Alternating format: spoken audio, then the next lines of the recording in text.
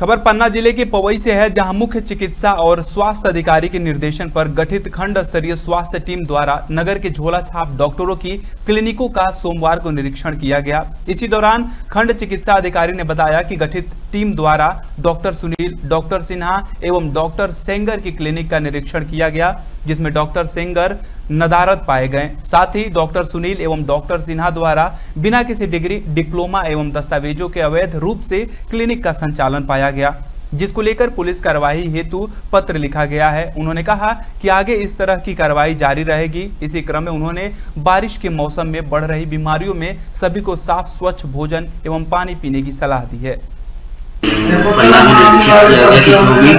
कि फर्जी क्लिनिक चला रहे हैं या नकली डॉक्टर, बिना सर्टिफिकेट के डॉक्टर हैं,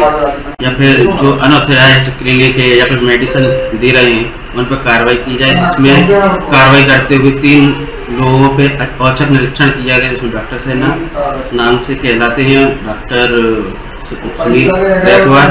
और डॉक्टर सेंगर जो कि नवाब में मेडिकल पे पाए गए इनकी दवाइयाँ एक्सपायरी थी,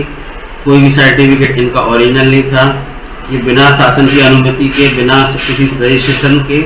प्रैक्टिस कर रहे हैं और इनकी सूचना पवई थाना में दी गई, जिसपे नियमानुसार प्रकरण दर्ज करने एवं कार्रवाई करने की सूचित किया गया